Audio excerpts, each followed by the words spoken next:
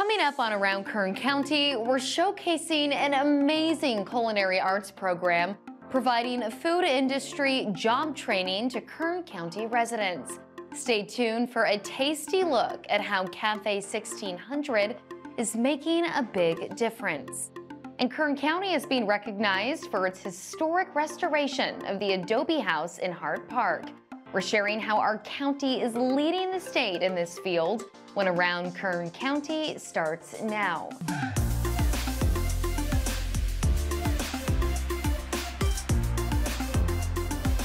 Welcome to this week's Around Kern County. I'm your host, Ali Soper.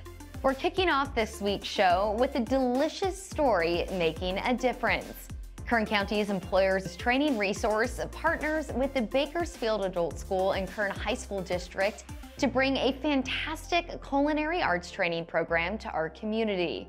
Not to mention, people can actually eat what the students make. This is Cafe 1600.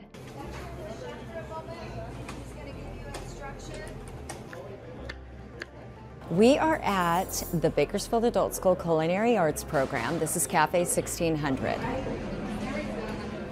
Cafe 1600 is a program whereby students come in to learn the facets of the industry. They're learning the front of the house as well as the back of the house. You're able to learn different aspects of either being in a restaurant, doing the buffet, being able to serve and cook, and I like that. You're able to learn all rounds of it instead of just one part. You're even able to learn like inventory and like different vendors and different things like that. This program is one semester, which equates to about 18 to 19 weeks, and students can enroll through the Bakersfield Adult School or through ETR, which is Employers Training Resource. This program is serving those who are either discerning the industry or trying to complete a diploma through the adult school, or um, just need a job actually. So we can train students that come from all different walks of life. We have students that are working to complete their high school diploma as well as students who have a master's. So um, I was kind of like looking and trying to like reestablish myself and I always thought like, well, I wanted to go through a culinary program and then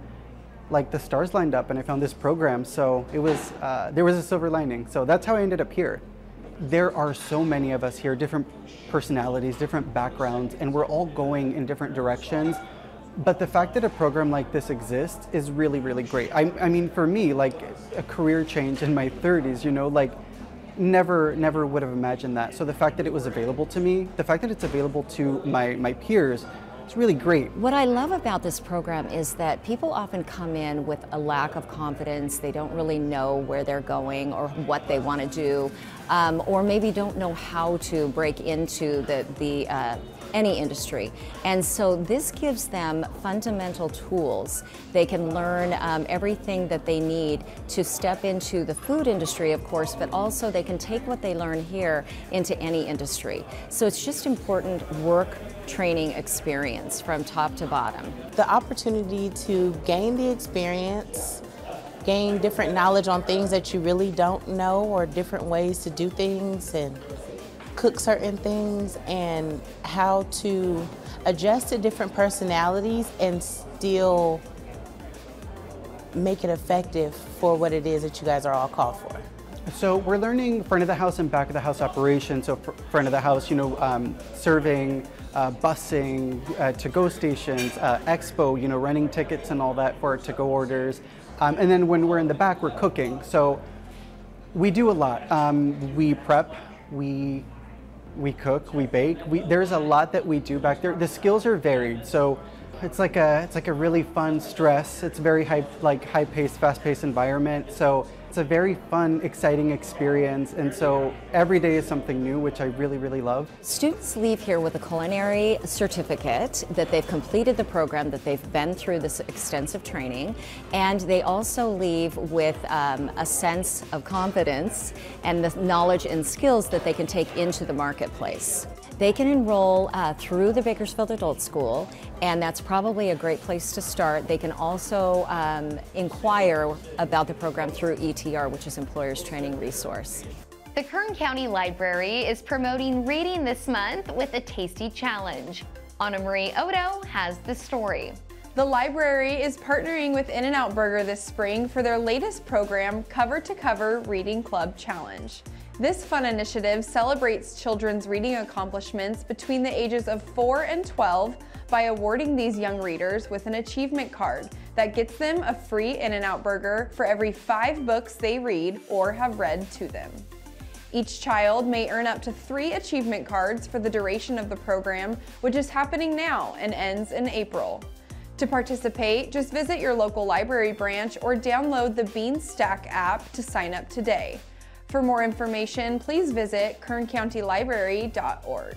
Kern County Aging and Adult Services is promoting March for Meals on Wheels this month to ensure no senior in our community gets left behind. Here's a look at how this important program works. Join Meals on Wheels in the annual March for Meals to celebrate the seniors in our communities and the ways we can all support them. All across the country, communities will join together to take a stand for the millions of seniors struggling with hunger and isolation. Meals on Wheels is a proven collaboration of local community organizations, businesses, all levels of government, and more than 2 million dedicated volunteers. Together, we deliver the nutritious meals, friendly visits, and safety checks that are often all it takes for our seniors to remain in their own homes where they want to be. And by doing so, we save billions of dollars in nursing facilities, hospitals, and healthcare costs. So join the march. Celebrate March for Meals in your own way. Donate what you can. Hold a fundraising event so others can give. Speak out to elected officials or join the dedicated army of volunteers who are committed to making sure that our senior neighbors are not forgotten. March with us.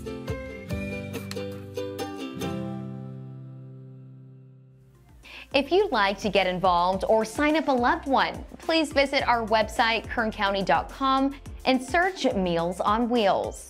We're ending today by celebrating the hard work and teamwork that went into restoring the historic Hart Park Adobe House. This structure was built in the 1930s as a residence for Hart Park's caretaker. Now, more than 80 years later, our community can learn from and enjoy this piece of local history as part of the park's Nature Center. And while this restoration means so much to many members of our community, it's also caught the eye of our state. This week, Kern County received a 2023 Preservation Design Award from the California Preservation Foundation for this amazing rehabilitation project. The history of this building is important because this was a Works Project Administration funded project that put local people to work. It used local materials and it trained people to work as well. It was designed by a local architect, Philip Parsons. He was the county architect. He worked um, on this project as well as the fort in Taft and some other significant buildings in Kern County. It is going to be used and is being used for a nature center to highlight the, uh, the park, to highlight the river, uh, to highlight the historical nature of, of, uh, of the area uh, as well. So it's a significant achievement um, that a lot of people have been waiting for for a long time. Kern County General Services partnered with District 3 and Kern County Planning and Natural Resources to secure special community block grant funding to preserve this piece of history right in our own backyard. To check it out for yourself, all you have to do is head out to Hart Park and enjoy. And that does it for us on this week's Around Kern County. If you have a story you'd like to share, please visit kerncounty.com and fill out our Submit a Story form. We'll see you right back here next week.